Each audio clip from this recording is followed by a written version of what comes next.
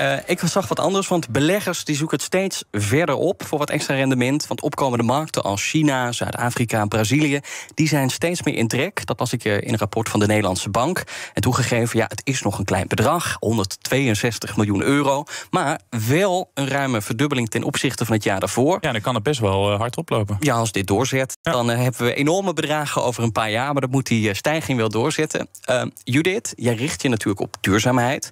Um, maar ja, moet je daarvoor überhaupt wel in dit soort opkomende markten zijn? Um, nou ja, kijk, uh, opkomende markten kunnen heel interessant zijn. Hè. We kijken natuurlijk als belegger wereldwijd. We kijken naar Europa, we kijken naar de Verenigde Staten en we kijken ook naar de opkomende markten. Uh, en ook daar zijn natuurlijk wel kansen. En daar wil je als belegger graag gebruik van maken. Maar, maar ook duurzame kansen? Ja, um, nou ja, ja, ik zeg ja in de zin van uh, duurzaamheid um, is iets wat je natuurlijk heel goed wil controleren als belegger. Waar investeer ik in? En heb je het over opkomende markten, dan hebben we het over landen als China, over Brazilië, over Zuid-Afrika. Eigenlijk zijn er heel veel landen in mm -hmm. opkomst. En is het ook heel goed om kritisch te kijken als belegger. Waar ga ik in investeren? Hè? Welke sector is mijn, het bedrijf wat ik interessant vind actief? Hè? En waar liggen wellicht duurzaamheidsrisico's? En daar moet je dus inderdaad ook in opkomende landen, net als in uh, Europa en in, uh, in de Verenigde Staten, gewoon goed naar kijken. Maar eerst terug naar die comeback kit van de DAX, Commerzbank. Hè? Die doet het goed op de beurs, maar niet alleen deze bank. Ook andere bankaandelen die doen het goed. Judith, laten we even beginnen met Commerzbank. Ja. Want het aandeel steeg sinds begin vorig jaar met twee derde. Doet het ook beter dan veel andere bankaandelen. Hoezo is dat aandeel ineens zo uh, populair?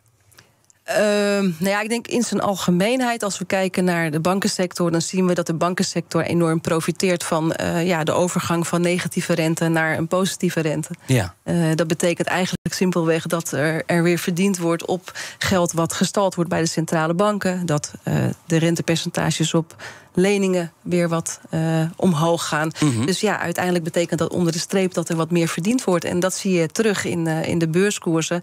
En ja, de financials hebben natuurlijk langere tijd echt wel last van die lage rente gehad. En hebben ja. dat ook, dat was ook echt duidelijk terug te zien in, in die, in die koersen. En de reden achter Walmart, waarom het daar zo goed gaat, ja, dat is eigenlijk een beetje ook wat we terugzagen in de cijfers over de winkelverkoop in Amerika. Mm -hmm. In de eerste maand van het jaar, die waren veel beter dan verwacht. Ja, dus ook daar zie je dat uh, ondanks een vertrouwenscijfer, of meerdere vertrouwenscijfers die laag zijn, dat uh, consumenten echt wel nog steeds in staat zijn en, en ook uitgeven uh, daar waar mogelijk. En dat is gewoon een ja, goede steun onder de Amerikaanse economie. Maar Walmart verlaagt dus wel die verwachtingen. Hij zegt dat doen ze wel vaker en overtreffen ze daarna weer. Maar 2023 verwacht je wel dat het een minder jaar wordt voor Walmart? Ja, voor Walmart weet ik niet. Dat durf ik niet zo specifiek te zeggen. Wat je wel ziet, en dan kom ik terug op wat ik net zei, is mm -hmm. dat je ziet dat consumenten vooral meer geld uitgeven aan diensten dan, dan aan goederen. Ik denk dat het in Amerika niet heel veel anders is. Ja.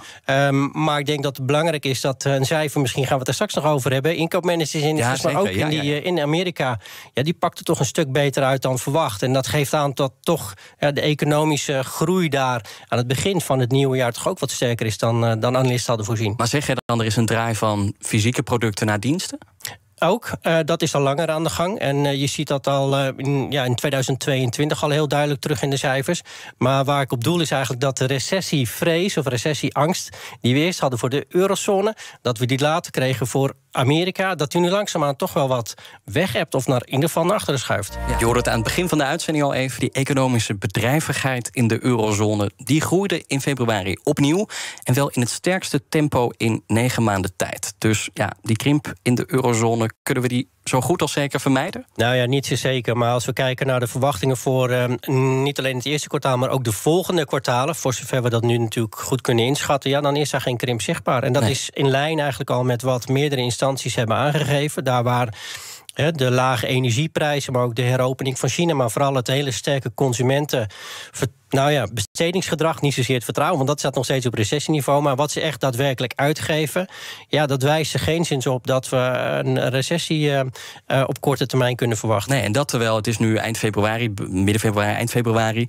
Maar begin dit jaar zei het IMF nog, die recessie komt eraan. Wie moet nou geloven? Ja, die recessie komt er ook wel aan. Dat is het punt ook niet. Alleen het tijdspad waarin dat gaat plaatsvinden, daarover verschillen denk ik mensen van mening. En als je goed had gekeken naar de onderliggende factoren, dan denk ik dat uh, het IMF ja, iets te laat was in hun call om, om die vertraging te verwachten. Terwijl andere indicatoren. Hè? Want laten we niet vergeten dat die inkoopmanagersindices al een aantal maanden aan het herstellen zijn. Dus ze waren wat te laat, zoals ik wou zeggen, bijna gebruikelijk.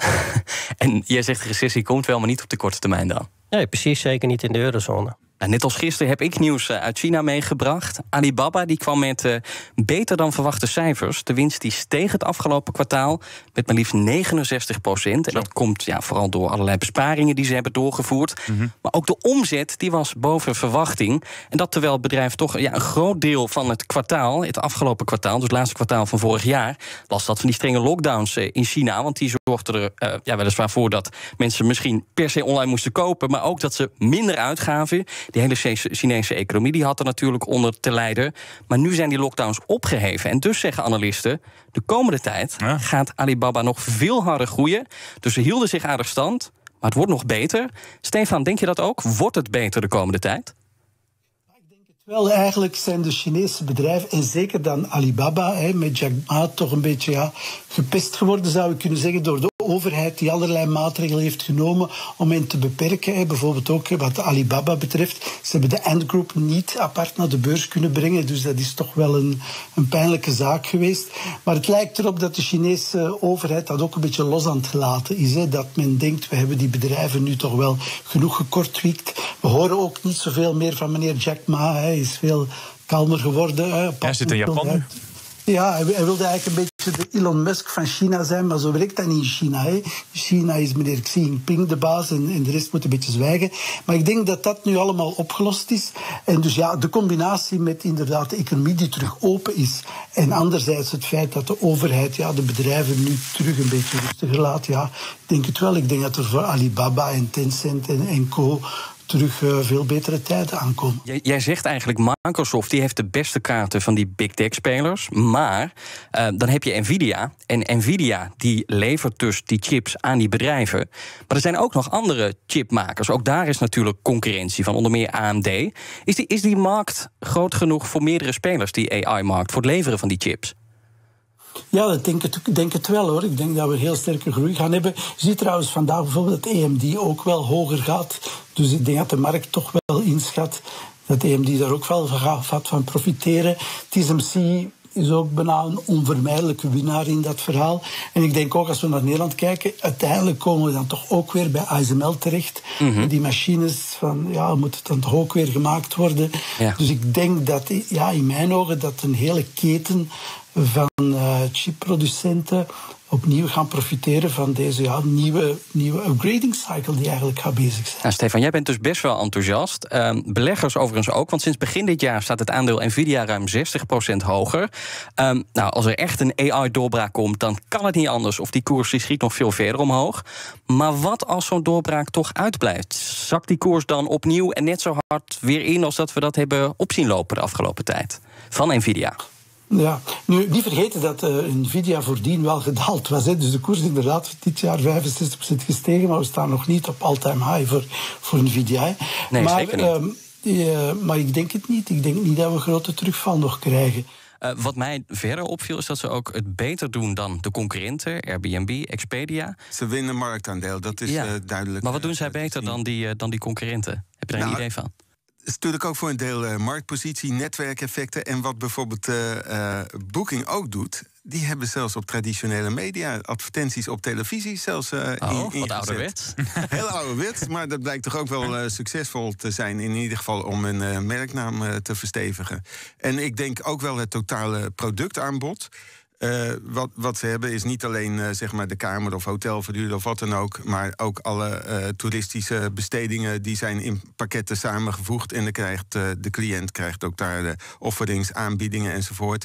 En dan weten ze de totale marges toch wel mee, mee op te krikken en de groei van de winstgevendheid te hervatten. En wat ik ook wel geinig vind, jij liet net een fragment horen dat er zoveel woede was om die coronasteun. Ja. Er zeiden heel veel mensen om me heen: ik ga nooit meer boeken bij Booking, ik ga naar Expedia. Maar bijna al die mensen zijn bij Booking gebleven. Omdat ja, we zijn een beetje gewend geraakt aan wat zij bieden aan het model. Het is toch wel fijn.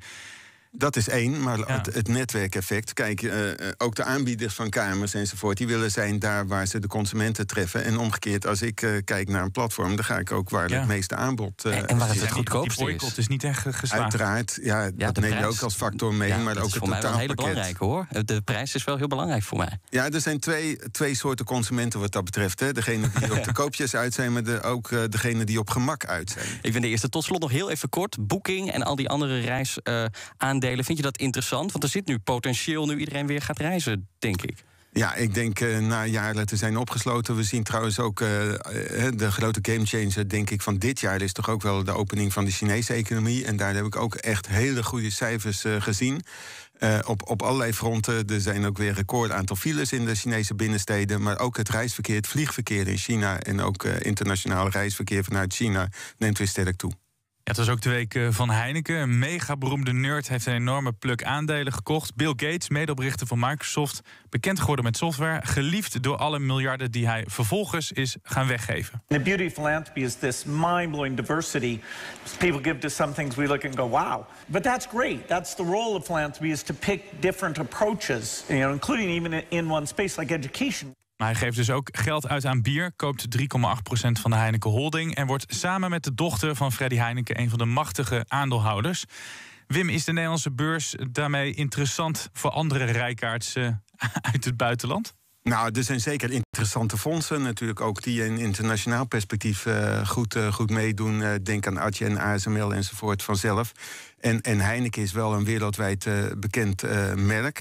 Het is eigenlijk dat Bill Gates er via de Mexicaanse constructie, via een omweg eigenlijk ook bij terecht is gekomen. Hij zegt zelf overigens dat hij geen grote bierdrinker is. Nee. dus het is eigenlijk meer dat hij let op het rendementsperspectief. Ja. Ja, omdat er wat herschikkingen zijn in de verhoudingen tussen het Mexicaanse FEMSA en, en, en Heineken. En uh, Gates had ook een, een, een belang in. Uh, uh, in uh, zeg maar FEMSA. En FEMSA verkoopt nu zijn belang in, in Heineken. Nou, er komt er een hele grote pluk op de, op de markt. En dan moet je dus een hele grote belegger voor vinden. Ja, dan kom je wel bij Bill en bij de Bill en Linda Gates Foundation ja, uit. Maar jij zegt dus de Nederlandse beurs is wel interessant voor anderen. Dan heb je het over een Atje of een ASML. Ja, het zijn steeds meer wereldconcerns. En uh, veel uh, Nederlandse bedrijven hebben natuurlijk ook traditioneel een hele goede positie op de Amerikaanse markt. Hebben ook een bekendheid. Maar ik, het is niet zo dat de Amerikanen naar de AIX kijken. Want als ik bijvoorbeeld naar mijn Bloomberg kijk en de standaardinstellingen, daar staat de AIX-index niet eens meer op. Dan moet ik echt overschakelen naar de Europese instellingen. Dus het is niet dat zeg maar, de typisch Nederlandse oorsprong maatgevend is voor de interesse van internationale beleggers.